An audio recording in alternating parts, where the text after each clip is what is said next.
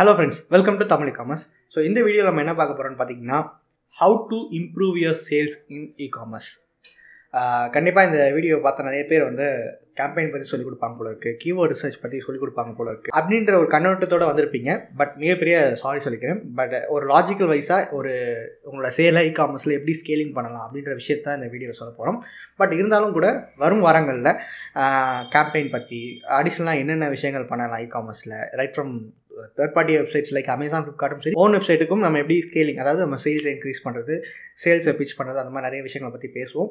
So first of all நான் சொன்ன மாதிரி லாஜிக்கல் விஷயம். ஸோ அது அப்படின்னு சார் லாஜிக்கல் இங்கே நிறைய பேரோட இன்டென்ஸ் என்னென்னா சரி எனக்கு ஒரு ஃபார்முலா சொல்லுங்கள் இந்த பொருள் சேல் ஆகுமா ஆகாதா? இந்த பொருள் சேல் ஆனால் எவ்வளோ சேல் ஆகும்? ஸோ இந்த மாதிரி ஒரு ஃபார்முலாவை தான் நிறைய பேர் எதிர்பார்க்குறீங்க. அது எல்லாமே வந்து அது எல்லாமே நடக்கக்கூடிய விஷயம் தான் ஒரு மனுஷனாக பிறந்தால் அந்த மாதிரி எதிர்பார்ப்புகள் இருக்க தான் செய்யும். பட் இங்கே ஒரு சேடஸ்ட் ரியாலிட்டி என்னென்னா அது எதுவுமே ப்ரிடிக் பண்ண முடியாது. பட் இருந்தாலும் ஒரு சில விஷயங்கள் நம்ம கரெக்டாக பண்ணுறதுனால சேல்ஸ் வந்து ஸ்டார்ட் ஆகும். செகண்ட் வந்து நம்ம காம்படிட்டரை பார்த்து பயப்படவே தேவையில்லை. இந்த கேம்பெயின்ஸ் ஆகட்டும் கீவேர்டு ரிசர்ச் அதுக்கப்புறம் பிளாகிங்ஸு ஸோ இந்த அப்லேட் மார்க்கெட்டை சொல்லி நம்மளோட ப்ராடக்ட்ஸை ப்ரொமோட் பண்ணுறது எல்லாமே வந்து ஒரு ஸ்ட்ராட்டஜிக்கலாக ஒரு பிஸ்னஸ் இம்ப்ரூவ்மெண்ட்டுக்கு உதவும். பட் இருந்தாலும் கூட நம்ம காம்படேட்டர் கிட்ட இருந்து ஒரு வித்தியாசமாக தெரியறதுக்கும் அந்த கன்வர்ஷன் ஃபேக்டர்னு சொல்லுவாங்க. கன்வர்ஷன்னா இப்போ நீங்கள் எத்தனையோ பேர் ஃபோன் வச்சுருக்கீங்க. அவங்க இந்த இந்த வீடியோ பார்த்துட்டு இருக்கவங்க எத்தனையோ பேர் என்னமோ ஃபோன் வச்சுருப்பீங்க. ஓப்போ வச்சுருப்பீங்க விவோ வச்சுருப்பீங்க ஒன் ப்ளஸ் வச்சுருப்பீங்க ஐஃபோன் வச்சுருப்பீங்க. ஆனால் உங்களை எது கன்வின்ஸ் பண்ணிச்சு அந்த ஃபோனை வாங்குறதுக்கு? டிவி அட்வர்டைஸ்மெண்ட் ஆகட்டும் ஃபேஸ்புக் அட்வர்டைஸ்மெண்ட் உங்களுக்கு பிடிச்ச டெக் ரிவ்யூஸ் வந்து அந்த ஃபோனை ரொம்ப தாங்கி பிடிச்சிருப்பாங்க. சூப்பராக இருக்குது ஹீட் ஆகலை பேட்டரி கெப்பாசிட்டி ஏதோ ஒன்று சொல்லியிருக்கும் ஏதோ ஒன்று நடந்திருக்கும் அந்த கன்வர்ஷன் அந்த அந்த ஒரு விஷயம் உங்களுக்கு கன்வின்ஸ் பண்ணிச்சு இல்லையா?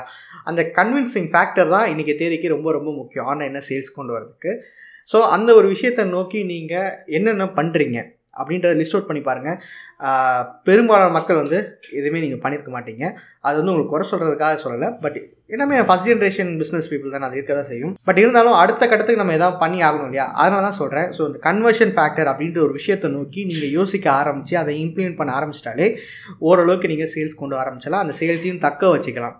சரி சார் கன்வர்ஷன் ஃபேக்டர் நீங்கள் அப்படி என்ன பண்ணிட்டீங்க? உங்களோட ரிஸ்டிங்க்கு இல்லை உங்களோட ப்ராடக்ட் அப்படின்னு கேட்டிங்கன்னா என்னோட ரியல் லைஃப்பில் நடந்த ஒரு விஷயத்த நான் உங்ககிட்ட ஷேர் பண்ணுறேன் போர் அடிக்காது. ஸோ மேக்ஸிமம் போர் அடிக்காது. பட் ஒரு சின்ன ஒரு ஸ்டோரி மாதிரி தான் நான் ரியல் லைஃப்பில் நான் பண்ண வேலையை தான் சொல்ல போகிறேன் ஸோ நான் வந்து காலேஜ் டேஸ்லேயே பிஸ்னஸ் பண்ண ஆரம்பிச்சிட்டேன் அப்படின்ற ஒரு விஷயம் நிறைய பேருக்கு ரெகுலராக ஃபாலோ பண்ணுறதுக்கு தெரியும்.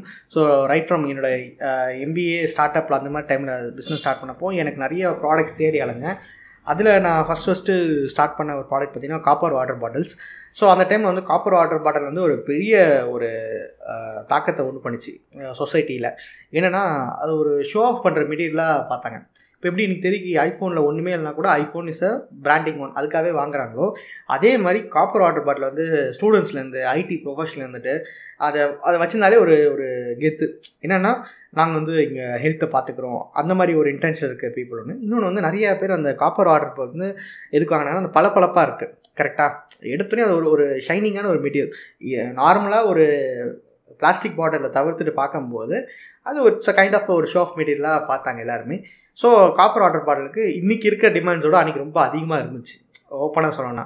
எப்படின்னா ஒரு four to five years before நான் சொல்கிறேன் ஸோ எனக்கு வந்து ஈஸியாக ஒரு டிஸ்ட்ரிபியூட்டர் கிடச்சாரு. ஒரு காப்பர் வாட்டர் பாட்டில் ஈஸியாக ஏன்னா அந்தளவுக்கு சீப்பாக கொடுத்தாரு எனக்கு அந்த டைமில் சரி first first copper water bottle sell பண்ண ஆரம்பிக்கலாம் அப்படின்ற ஒரு முடிவுக்கு வந்தேன்.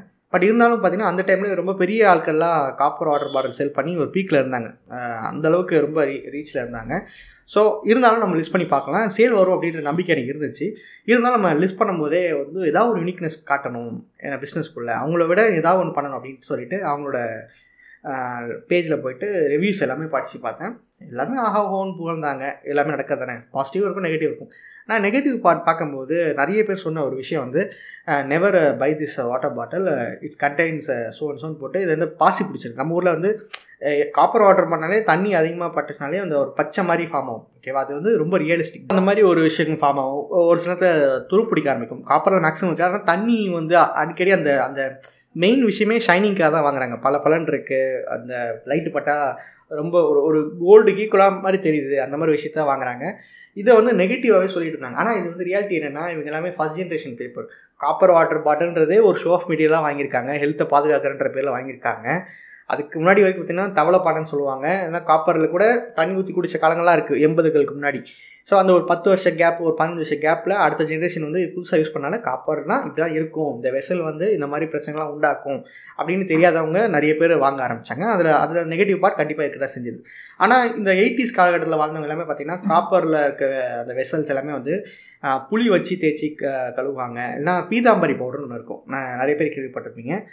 நம்ம விளக்குகள் காப்பர் எல்லாமே தேய்ச்சி கழுவுவாங்க. பல பலன் ஆகிடும் ஸோ நம்ம என்னென்னா இதை டேரெக்டாக இந்த வாட்டர் பாட்டில் கூட ஒரு க்ளீனிங் கிட்டுன்னு சொல்லிட்டு கிட்டு மாதிரி கொடுக்கலாம். ஆனால் நான் எந்த இடத்துலையுமே அதை ப்ரொஜெக்ட் பண்ணவே இல்லை. இமேஜஸ்லேயும் சரி டைட்டிலையும் சரி வாட்டர் பாட்டில் வாங்குறவங்க கூட இந்த இது போகும். ஸோ அந்த க்ளீனிங் கிட் என்னென்னு பார்த்தீங்கன்னா அந்த பீதாம்பரி பவுடர் சொன்னேன் இல்லையா? அதை வந்து கம்ப்ளீட்டாக ஒரு சின்ன ஒரு கண்டெய்னர் மாதிரி ஒரு இதுக்குள்ளே போட்டுட்டேன். ஆனால் ஏன்னா காரணத்தை கொண்டு அதை ஒரு பீதாம்பரி பவுடர் அப்படின்ற ஒரு விஷயம் எஸ்டாப்ளிஷ் பண்ணக்கூடாது.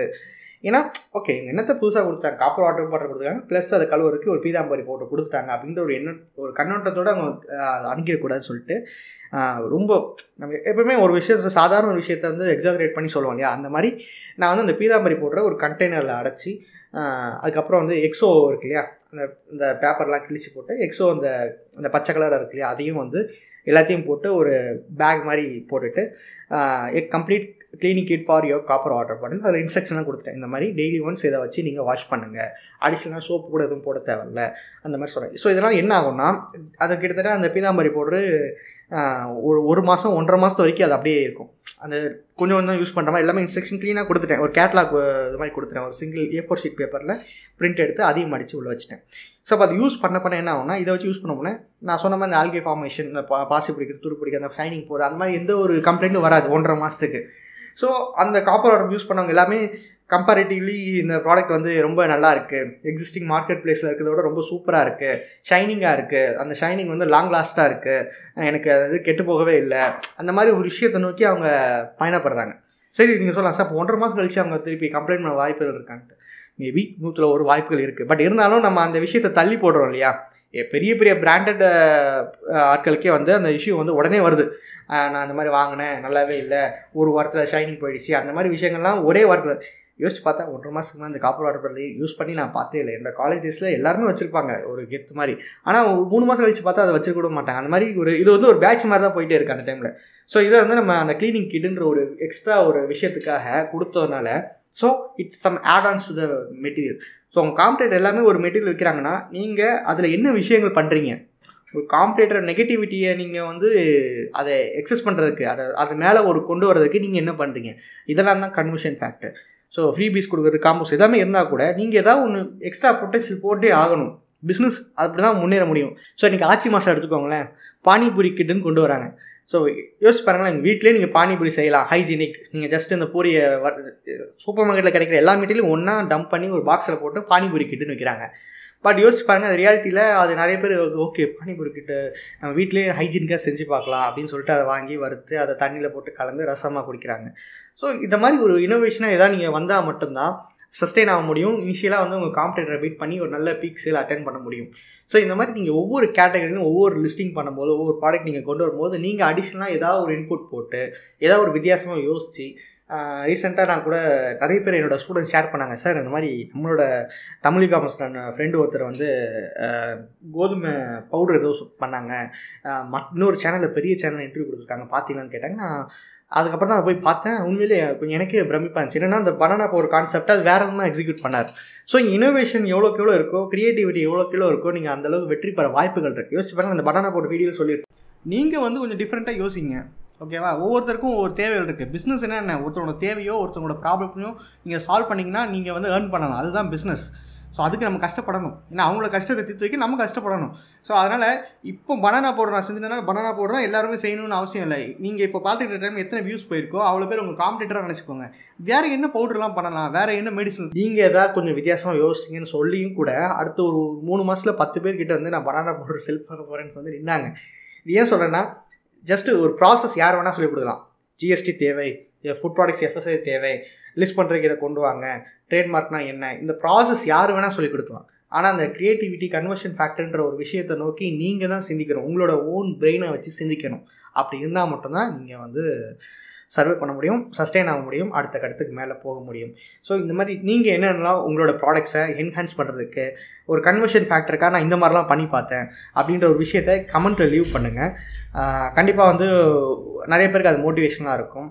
உங்களோட திங்க் உங்களோட திங்கிங் ஐடியாஸை நிறைய பேருக்கு ஷேர் பண்ணுற விதமாக இருக்கும். ஸோ மறக்காமல் கீழே நீங்கள் என்னென்னலாம் உழைச்சிருக்கீங்க உங்கள் கன்வர்ஷன் ஃபேக்டருக்காக உங்கள் பர்டிகுலர் லிஸ்டிங் நாங்கள் இந்த மாதிரி என்ஹான்ஸ் பண்ணுறதுக்கு மறக்காமல் லீவ் பண்ணுங்கள் கமெண்ட்டில் எது பெஸ்ட்டோ அதை நான் கண்டிப்பாக பின் பண்ணுறேன் ஸோ அடுத்தடுத்த வீடியோஸில் இதோட அடுத்த ஸ்டேஜாக அந்த கேம்பெயின்ஸ் ரிலேட்டடு அப்புறம் கீவேர்ட்ஸ் பற்றி நிறைய பேசலாம். இன்னமும் கூட வந்து இந்த அப்லேட் மார்க்கெட்டிங் வந்து நம்ம எப்படி இ காமர்ஸில் இம்ப்ளிமெண்ட் பண்ணலாம். சார் அப்லேட் மார்க்கெட்ன்றது டிஃப்ரெண்ட் கான்செப்ட் அதுக்குள்ளே போகல அப்லேட் மார்க்கெட்டிங் வேலை என்னென்னா நம்மள மாதிரி ப்ராடக்ட்ஸையும் சர்வீஸையும் ப்ரொமோட் பண்ணுறதான் வேலை. ஸோ அதை நம்ம எப்படி இம்ப்ளிமெண்ட் பண்ணலாம்? இந்த மாதிரி விஷயங்கள் எல்லாமே அடுத்தடுத்த வாரங்களில் நான் கண்டிப்பாக வீடியோ போஸ்ட் பண்ணுறேன் அது எல்லாமே உங்களுக்கு மிஸ் பண்ணாமல் கிடைக்கணும்னா கொஞ்சம் வீடியோ ஸ்க்ரால் பண்ணி தமிழ் காமர்ஸ் லோகோ பக்கத்தில் இருக்க சப்ஸ்கிரைப் பட்டனையும் பக்கத்தில் இருக்க பெல் ஐக்கானையும் ப்ரெஸ் பண்ணி ஆல் ஆப்ஷன் கொடுத்துக்கோங்க. அப்போ தான் எதுவுமே மிஸ் பண்ணாமல் வந்து சேரும். ஸோ முக்கியமான இந்த மாதிரி ஒரு சில விஷயங்கள். யோசிச்சு பார்த்தா இந்த வீடியோலாம் நம்ம ஜஸ்ட் ஒரு நிமிஷத்தில் போட்டுக்கலாம். இருந்தாலும் அந்த மாதிரி விஷயங்களை கிறிஸ்பாக ஒரு நிமிஷத்தில் நான் வந்து இன்ஸ்டாகிராமில் நிறைய இடத்துல போஸ்ட் பண்ணிகிட்டு இருக்கேன். மறக்காமல் நம்ம இன்ஸ்டாகிராம் பக்கத்தையும் நீங்கள் ஃபாலோ பண்ணிக்கோங்க. ஸோ அதோட லிங்க்கும் கீழே டிஸ்கிரிப்ஷனில் கொடுத்துருக்கேன். தேங்க்யூ